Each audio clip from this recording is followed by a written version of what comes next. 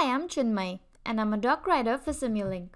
In this video, you will learn how to automate scheduling in the schedule editor with the command line API. Let's say you want to minimize scheduling delays in this ignition scheduler model. The schedule editor for this model shows you all the partitioned components of the model and the order in which they execute.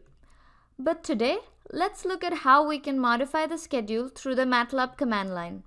First, we use getParam to get the schedule object of this model. The schedule object consists of order, rate sections, and events. To modify the schedule, we will use the order property. The order property is displayed in the form of a table that shows the same information that's present in the schedule editor. We have the partitions, their type, and their trigger. Now to change the order of the partitions in this table, we use the index of that partition.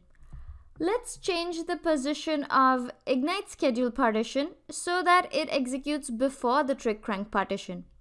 To do that, we change the index of the ignite schedule partition to the third position. I inspect the order property again just to check that I have the order that I want. We can now apply the schedule to the model by doing a set param. Doing the set param also updates the schedule editor with this modified schedule. Now that you're familiar with how the schedule object works, you can use it to write scripts and automate simulations to run with many different schedules. To summarize, you can use getParam on the schedule object, modify the order element, and apply the schedule back to the model all through the command line API, thus automating your entire workflow. Thank you.